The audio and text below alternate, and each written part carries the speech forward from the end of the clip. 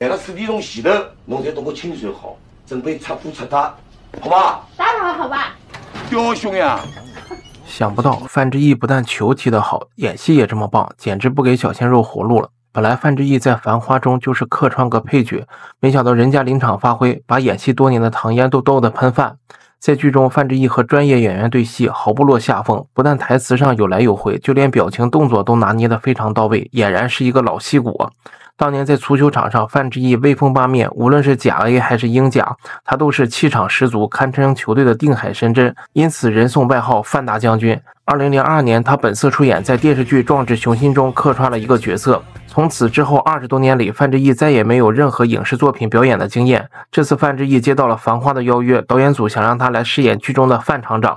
刚拿到剧本时，范志毅担心自己演不好，达不到王家卫导演的要求。他起初是不太想演的，不过王家卫导演多次邀请，并给了他很多鼓励。范志毅的妻子也给他加油鼓劲儿，于是他下定决心出演《繁花》。尽管在剧中出场时间不多，但是仅有的几次亮相，范志毅都努力诠释好人物角色，给观众留下了深刻的印象。刚一出场，他就给唐嫣饰演的汪小姐来了个下马威。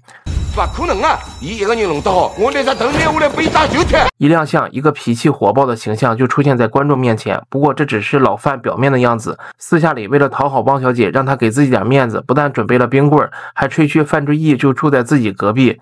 我晓得吧？范志毅就是我隔壁头啊。范志毅啊？啊，是侬隔壁啊？啊。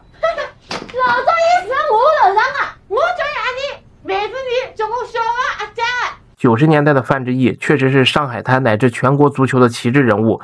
一九九五年获得甲 A 最佳射手，带领上海申花获得十连胜，提前两轮夺冠。一九九八年转会到英甲球队水晶宫，当年就获得年度最佳球员，还担任过球队队长。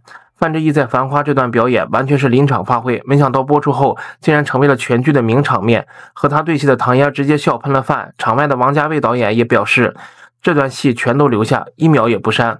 看到这儿，不得不佩服王家卫导演选人有多绝。他坚持让门外汉范志毅来饰演老范这个角色。很多人一开始并不看好一位男足运动员来演戏，范志毅用高光表演证明，踢球的一样可以演好戏。只有短短几句台词，范志毅却靠精彩的表演把老范这个角色演活了。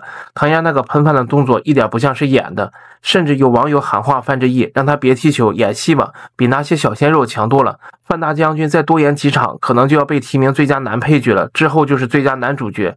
大家对范志毅在《繁花》中的表现感觉怎么样呢？欢迎留言一起讨论，解读经典影视，透过光影品味人生。我是靖哥，期待你的关注，拜拜。